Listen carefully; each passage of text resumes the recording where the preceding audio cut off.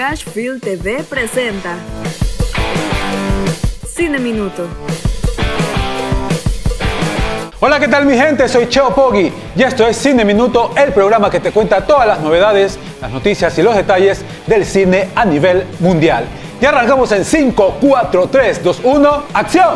Marvel todavía no ha explicado uno de los misterios de su universo cinematográfico.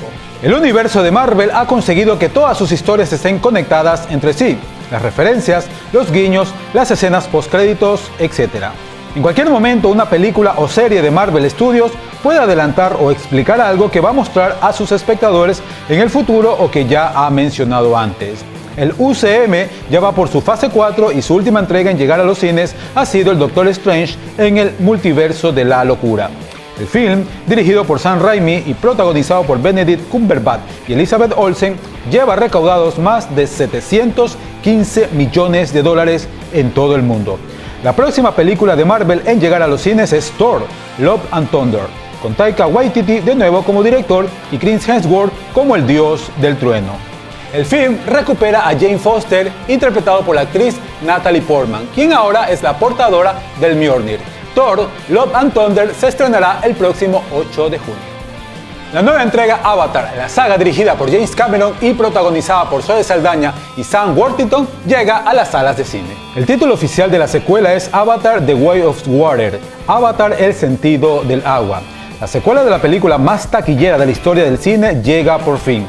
Avatar 2, la segunda entrega de la saga dirigida por Cameron, aterriza en las carteleras el 16 de diciembre y el film, que se estrena 13 años después de Avatar, ha sido uno de los protagonistas del panel de Walt Disney en la CinemaCon.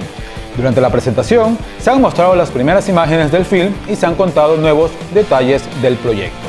Si todo se mantiene como lo previsto, tendremos Avatar de largo, Avatar 3 en diciembre de 2024, Avatar 4 en diciembre del 2026 y Avatar 5 en diciembre del 2028. Elite confirma la salida del actor Ixan Escamilla y él también se despide de su personaje Samuel.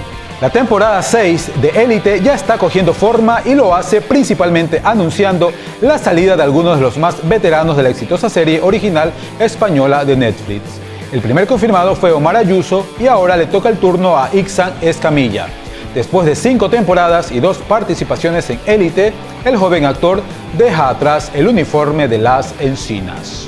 Entre los nuevos actores que se unen a la temporada 6 de Élite tenemos a Carmen Arrufat, Ana Boquesa, Alex Pastrana y Álvaro de Juana.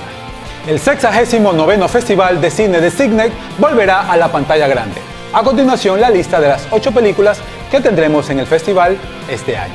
We Are Still Here, país Finlandia. The Man Wo Dignok One, país Australia. Mago de Oz, país Australia. Down Bricks Behind the Ace, país Alemania. Utama, países Francia, Bélgica, Luxemburgo, Países Bajos e Israel. Where is I'm From, país Australia. The Plains, país Reino Unido y Women in Virtual Reality, país Australia. Durante 12 días, del 8 al 19 de junio del 2022, el festival te mostrará las obras más grandes, extrañas y emocionantes que el cine tiene para ofrecer. Y con esto le ponemos punto final a la información en el ámbito cinematográfico. Te recuerdo que nuestra cita es todos los jueves a través de la señal digital de Cash Film TV en Instagram, en Facebook y ahora también salimos a través de YouTube Full HD y con la máxima calidad. No olvides suscribirte a nuestro canal y activar la campanita para las notificaciones. Además, te recuerdo que estaremos pronto celebrando el aniversario de Cine Minuto y estrenando nueva temporada. Conmigo será hasta la próxima. ¡Corte!